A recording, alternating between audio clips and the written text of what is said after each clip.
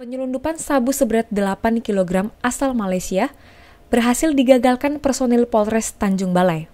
Dalam kasus tersebut, personil Polres Tanjung Balai juga berhasil menangkap seorang tersangka yang tercatat sebagai warga asal Provinsi Nangru Aceh Darussalam. Tersangka M alias N berhasil ditangkap setelah barang bawaannya diperiksa polisi.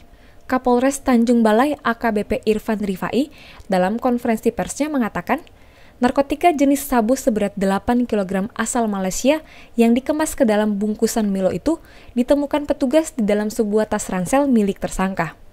Menurut Irfan Ripai, tersangka sebelumnya berstatus sebagai salah satu dari ke-43 penumpang TKI ilegal yang dibawa oleh sebuah kapal nelayan tradisional tanpa nama yang dinakodai oleh warga asal kota Tanjung Balai berinisial A.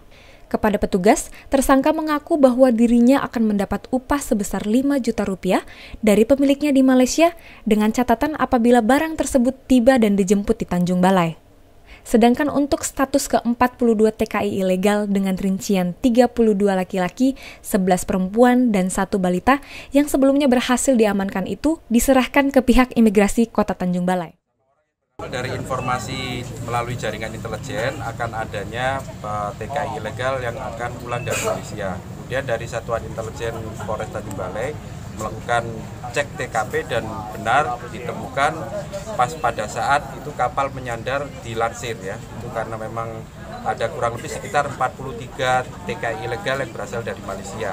Dari 43 TKI ilegal tersebut kemudian dibawa ke Polres dilakukan pengecekan baik badan maupun barang yang dibawa, kemudian juga didata. Ya, lagi Pak, ada berapa berat jumlah barang bukti ini Pak? Dan kita temukan dan tadi malam sudah kita lakukan pengukuran penimbangan kurang lebih sekitar 8.000 gram atau kurang lebih 8 kilo. Samun